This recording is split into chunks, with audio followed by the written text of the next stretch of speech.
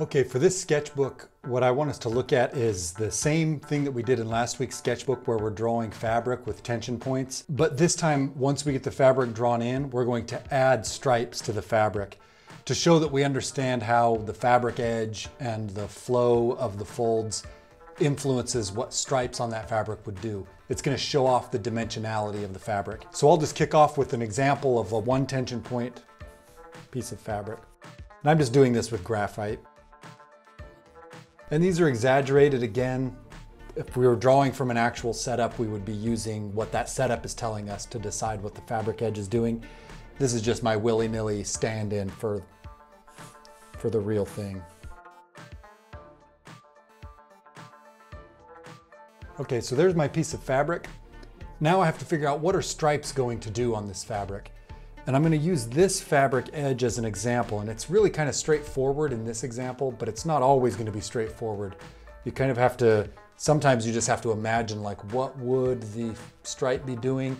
And if you're looking at something, it can help feed you that information a lot better. So for this fabric, it's a simple single tension point at the top, and so all of my folds are kind of pipe folds that head up to that point.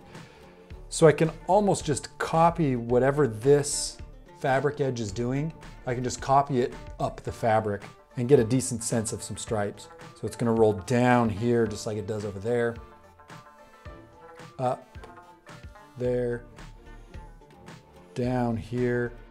I'm gonna do this one lightly so I can see where it might be on the back side, right about there. So I just copied this loop in its entirety up here lightly, and then I've bolded it up where I would actually see the stripe. This is a good exercise to do just to remind you how fabric tends to behave. So now I've got a stripe on the bottom of that fabric. Let's throw another one in.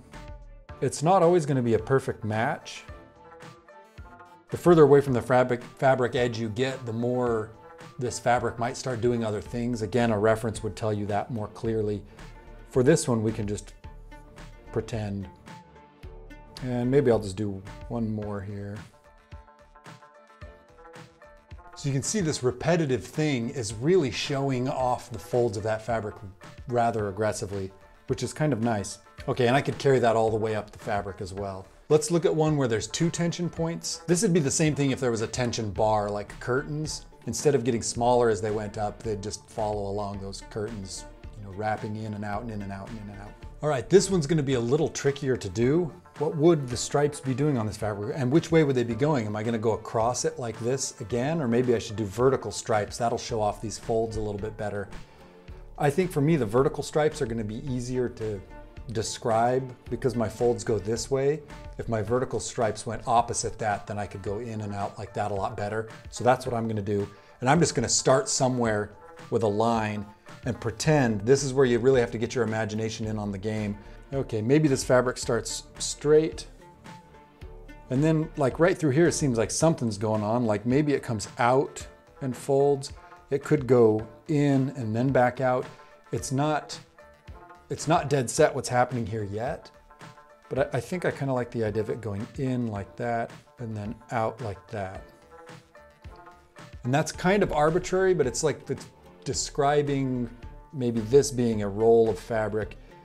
So if this is coming through here, it's gonna tuck under and probably peek out like this.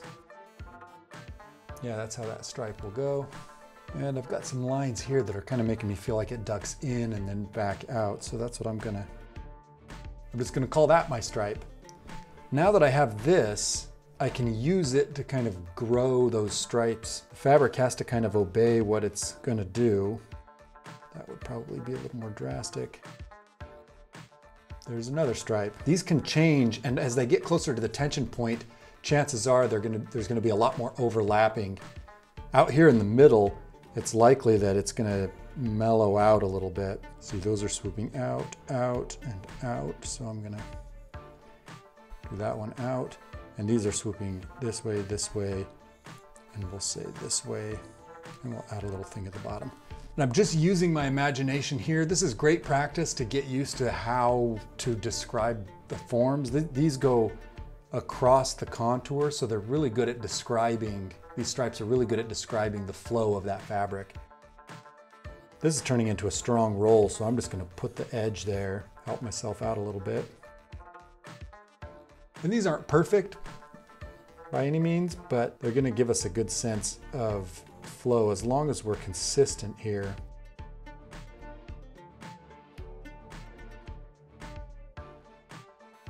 This is a new piece of fabric. It's like folds that are coming off of the this tension point up here. So I'm just gonna do my fabric in a different orientation. That's just based on I wanted to repeat this bottom edge up. And anyway, so I could carry that on the rest of that drawing. That's how I would either repeat this fabric edge up the fabric to get a sense of stripes or invent a stripe, sort of imagining my way down and then just repeating it with slight changes throughout the fabric.